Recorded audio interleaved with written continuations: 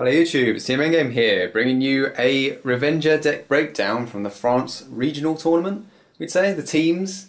Uh, we, we, we, we did very well, but you'll hear an explanation of that in a different video. This video is for Revengers. This is the deck I was using, and I'll just go through it now. So you've got the standard 8 crit, 4 draw, 4 heal, because they're all Revengers! and that's the way you run the deck. Uh, the uh, it does it does prompts that way of playing. It's quite aggressive, but you need that bit of draw power to find raging form. I wouldn't really tend to run more than four draws anyway in a deck like this. So you might as well make it as consist- So you've consistent never as you can. considered running one of the old crits to make it 12 crit? No, because you need the draw power. I'm afraid you just can't. It, the game uh, the game gets to that point where you have raging form. It's enough to really win. Uh, the starter wise, I do use the standard frontline Revenger Cla- Claudius Claudius Claudius Claudius. Yeah. Yes, um, because I see it as stand up Blaster Dark. It's very good at comboing, which I'll explain later, uh, in that standard setup you need to look for. I do tend to see people running that creeping goat, goat which creeped on the screen there for you. And uh, yeah, so it's the grade 3 searcher, the kind of last one put in a soul top 5. It's too inconsistent. I don't see re- it's that you need to find Raging Form to win. There are situations you do need it, but majoritively the deck itself is a very good, you know, play mechanic, and you can swap out easily for a decent booster, which I again I'll explain later. So that will be my grade zeros. Okay, grade one wi- wise, you got the four perfect guards, the four Mac Lirs. You got the four uh, Dorian, Dorian, yeah.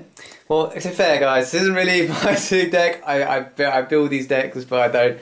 Name wise, I just I just call them the the unflipper for Blaster Dark, the 10k swinger, and the 8k beat. But anyway, um, Masquerade 10k swing at four, and two of the 8k beat sticks. You're probably like, what? What are you doing? I'll As for a lot of people Alex, no, no, that wasn't the bit. That wasn't the bit they were like, and about. But anyway, you've got yeah. So the text people might tend to go for. You've got the the Dylan, the, the basically a specific booster for Raging Form, which tends to be in the deck because when you start the game, you pull the starter to the back, left or right, open that space behind the Vanguard, and you go no guard, no guard, take the two damage, ride. Oh look, I've called this specific booster from the deck. But other than that, Raging Form's always going to be on the Vanguard. I wouldn't consider it. Uh, as a, just a general, you need a seven in there because you've got a lot of nines, and why not? You've got the Counterblast one on flip, no, on flip, uh, at a K, which is the uh, Bal Berith. Mm. Okay, yeah, so just as a standard seven to chuck in there, um, I tend to go for that. You- A lot, in, uh, apparently, in the Japanese meta, according to Aaron here, Yeah. uh, you see a lot of the see a um, lot of people the Dark it. Bond Trumpeter, which is the rest. Uh, is it Counterblast as well? Counterblast 1, call a grade 0 Oh, just count, in you, have to, rest. you have to rest it. Oh, you rest what comes out. Yes. Okay, so you, so yeah, so you, when it's placed on the Vanguard or rear guard, you can call out grade zero. Now this is why you run another of the the, the Claudius, the starter. So you call out from the deck, call it out, and then oh look, Counterblast Flame Soul, and get another Blast Dark out of the deck.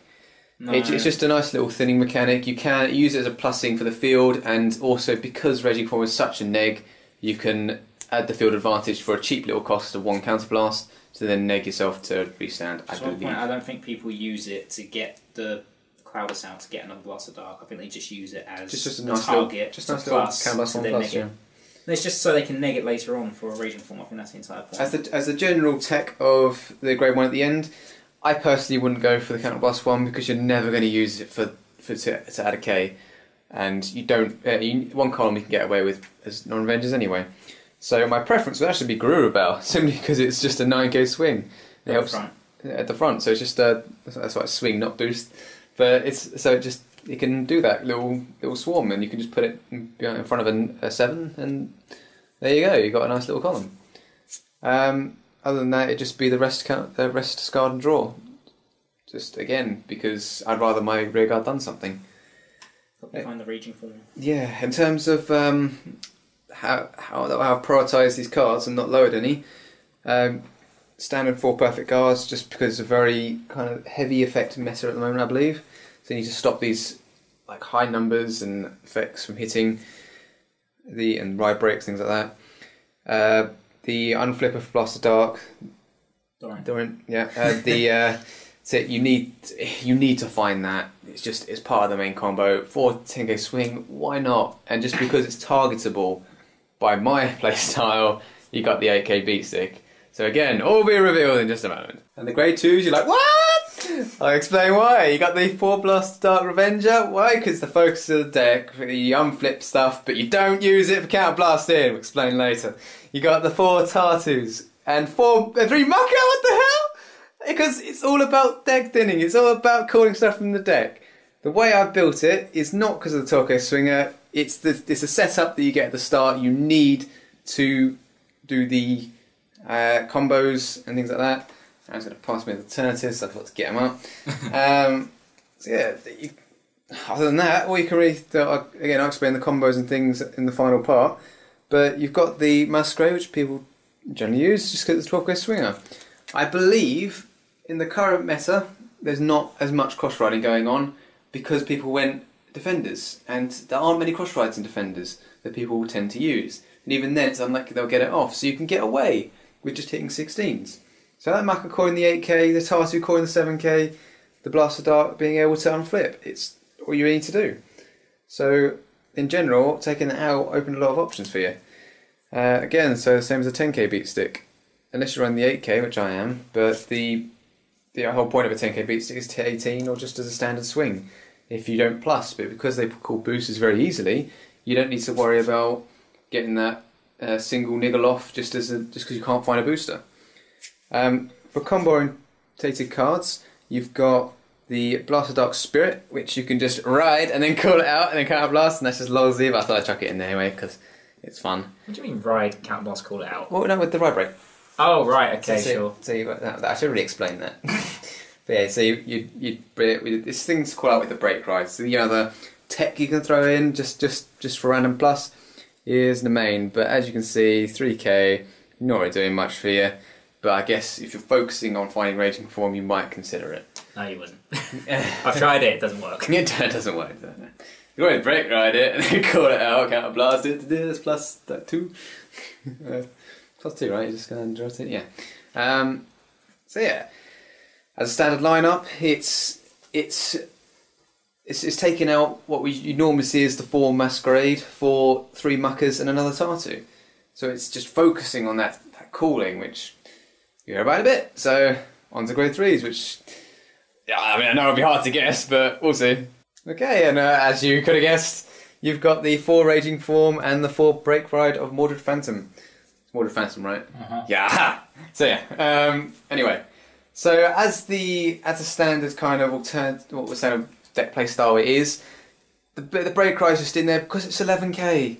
There are alternatives, but if you do need to have, drop a niggle or you need to um, just stay on something, at least it's swinging for an extra two. At least you can break ride it. At least you've got that 11k on the rear guard. So you don't need to really worry about much. You, you can plus from the deck. You can get that extra power. At least it's aggressive in some sense. But as as you look at the alternatives, um, I'll, I'll, keep my, uh, my the I'll, I'll, lower it in, in, interest as it goes along. Um, so you've got the actually what Aaron quite liked for a while is the um, D, uh, Diar Diarmuid Diarmuid. Yeah. yeah. So you've got the promo. It is a very good card, and it plays off the idea in the deck of I plus, and then I get rid of. So why the way I play style I'd use it for is I call the Tartu out, I get the booster, I attack with that column, attack with the Vanguard, neg myself that booster that I just called out, and during my opponent's phase, I will intercept, open that full column, and then recall the full column out. And that's the way I try and do it, and then obviously trigger dump on that full column as a third attack. Uh, but again, it was 10k. It goes against the deck of plussing, and you neg enough with Raging Form. Any issues you found with Aaron at all? Or? Nope. It's nope. limit break. It's, it's, it's limit break. And there's no way to get there apart from taking the damage. Yeah. If I would run that, I'd love to have a damage adder, but we don't have it. No, I don't have it. No, no. And even then, there's no 6k one, which sucks. Um, if you're still focused on Vanguards, this this I loved as a tech. My God, but it's so situational. Uh, you got the Dark Dictator. Now this is cool. As a standard ride, you don't want to do it. But you imagine break riding it. You break ride, you can't you can't blast to call out that unit with the break ride. You then got a very heavy swinging Vanguard. It's two K for each Shadow Paladin rear guard, so that's you know two, four, six, Two, four, six. Yeah, ten. Yeah. So Yeah. it's it's, So it's, it's, for maximum to of 20, 30. it's 30. So you've got a 30k column in the middle, you've got um, 21 on the right. Well, no, you've got more than that, you've got 26 because you use the effect and add. 5k to two. Well, front it's, it's twos. Yeah, the front row one. So, yeah. So there'd be 26, 21, and 30. So just as a, a break ride, that is phenomenally powerful. But admittedly, it would be meh afterwards, but at least you got a push alternative. So I did test just the tech of one. I never actually got it off really, but if I did, it'd be silly. It seemed too combo orientated, and I did always fear drawing into it and having to ride it. As rear guards go, you've got um, well, actually, it's still a pretty good card in a deck like this. You need to plus in the um, the I call it to Vanguard rear guard. Reveal the top card. It's a shadow band and call it. Yeah, yeah. It doesn't need to be in it. Just cool. So yeah, um, if you were to call it as the rear guard, just to make that cheap plus for the column, so you don't neg yourself so much, then yeah. But again, I wouldn't like to take the risk. And at a national tournament, we don't really want to take risks. And um, the, the, the, the, the German sounding. The I, I rewrite a grade 3 and it gets 10k power. Again, I would never run a card like that because it's far too combo orientated. I know you're going for the Raging Form effect, but if you want to put all your eggs in one basket, go ahead. But as a standard ride, again, you're sitting on 10, it's not doing anything. So, focus is always the way we build deck, why I build decks. And yeah, so I'll go now. I'll just go through the combos and hopefully you understand where I'm going with this. Okay, so in terms of combos, advantages, disadvantages of running the deck and things like that, uh, this is pretty much how I, I went to play the deck, and it pretty successful. But I'll give a little summary towards the end.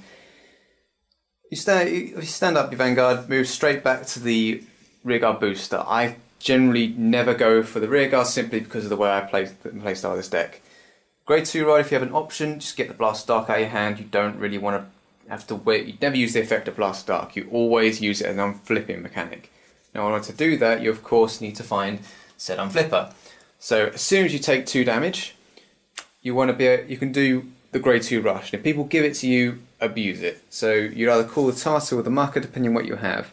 The Tartu, you'd always call out the Dorit, whatever drawing, whatever you want to call it. Um, and the Macha, you can also call the Dorin out If it's the grade two rush. if it's a grade 2 rush. Um, otherwise, you just use you can always use a Tinker Swing or something, or just drop any niggles you got. Um, but the muck is in there mainly if you want to call it to call out the AK Beat Stick as that trigger dumping column. So maybe you get two counter blasts, it's dangerous because your opponent will just get swarmed. And that rush, don't, people don't expect. I never get bored of people whose expressions when I drop that Macha. The guy just stared at it for a good couple of minutes before he went, What? uh, that was just amazing. But anyway, um, ideally as well, if you have an option between the break ride and the raging form, just drop the raging form. There's, I'd never sit. There's no point in negging yourself like that, because as soon as that's active, you're done. It, it's just a, a holdout card. Don't don't go for the break ride because your counter blasts are too precious to sting the deck. So anyway, so of course you got want to go for the raging form. Um, the general play is to call out the the Doran um, and intercept away. Use it. Use start. So you use two counter blast. As soon as you get to three, use the counter blast. Call, put it in soul. Call out another blast dark. Unflip, and then again you're active and waiting away until you get to a four counter blast. And then you just counter blast it again. To call out another unit. And it's just a, a little quick thinning mechanic that allows you to rush.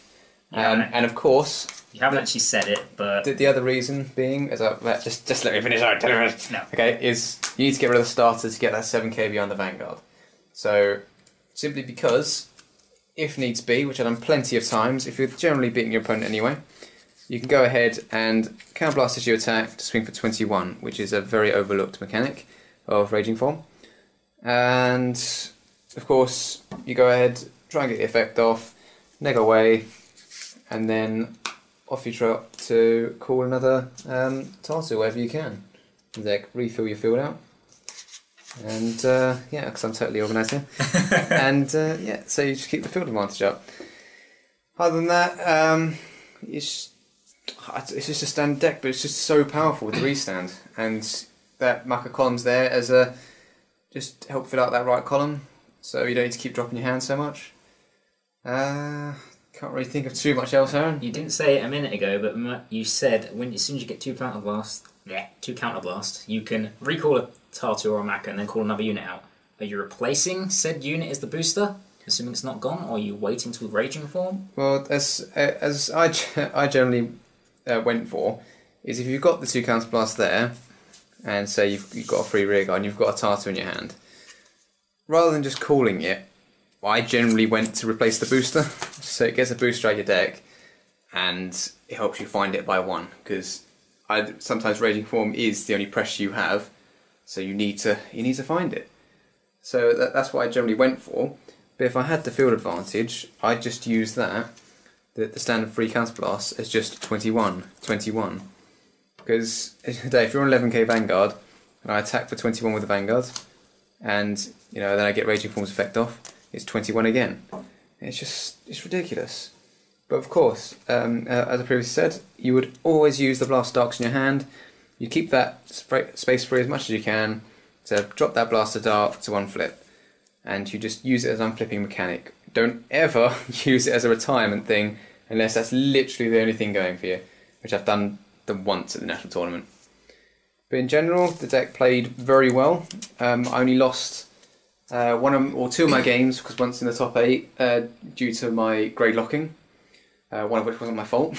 I stacked my deck, which uh, we'll discuss later on in the uh, the summary of the national tournament but uh, I lost one game because one game really um, because the uh, choice was there for me. I can actually remember basically what your field was. It was along the lines of that. It was there, and I had, had a- I had a Macha in my hand.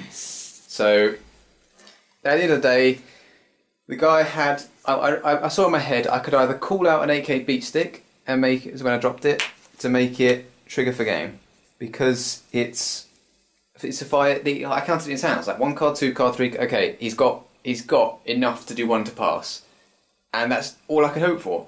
So I called that, drove check away, and what do you know? Where is it? There it is. I go drive check, nothing, whatever. Drive check, raging form, and I was like, I just I've lost. But you know, if, and if he called something like that instead, you would have gone. You would have gone like blah blah blah blah blah. Guard guards. but and at least you had the but, uh, but at least I had the three things. Um, because he, he he could have done perfect guard, uh, which he had, and um, 10k, which would have guarded the trigger dump. So either if, if I went swinging the vanguard, he would just perfect guarded it. He had 10k in his hand. If I got two triggers, then I got two triggers. But I'd rather it wasn't double trigger for game or and rage or raging form. Yeah. I'd rather just trigger for game. It's just that horrible uh, situation. It was just that one situation which Macha really screwed me over. But But it's not though, because logically speaking, you have more triggers than raging form, so you have more of a chance to win. and the, the loss was in the top eight. But again, we'll explain that another time. But it was I was at a massive disadvantage, like complete trigger wazoo, uh, and yeah. So in general, the deck works very well. I definitely recommend this way of playing Raging Form. It's How strongly do you recommend the Macha? hundred percent.